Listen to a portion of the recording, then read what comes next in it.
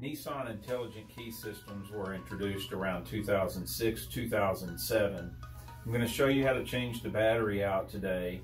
And it doesn't matter if you have the three, the four, or the five button configuration, they're all the same.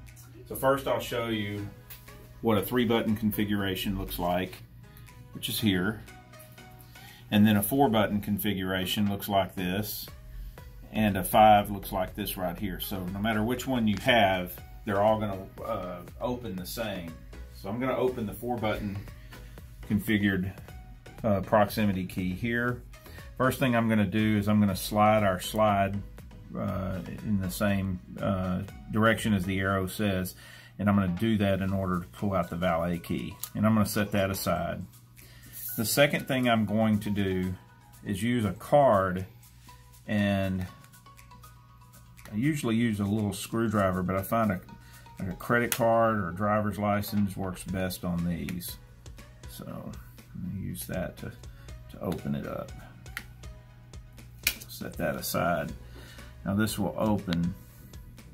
Another thing that's gonna be a little bit different than what we usually see is this battery here is going to be face down.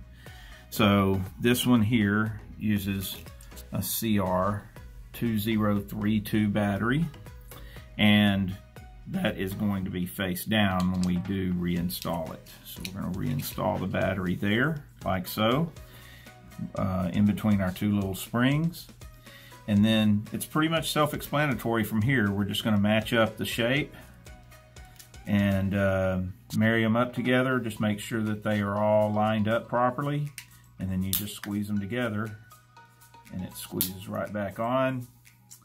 We will replace our valet key and you're all finished.